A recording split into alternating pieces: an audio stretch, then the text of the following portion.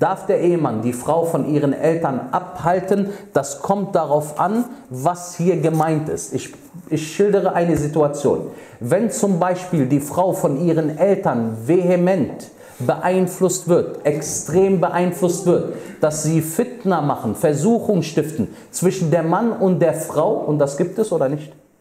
Das gibt es zu Genüge, dann hier hätte er recht, wenn er sie davon abhält, zumindest soll er sie natürlich weiter die Eltern anrufen lassen in seinem Beisein, wenn er befürchtet, dass diese Eltern einen Keil zwischen dem Mann und der Frau machen wollen.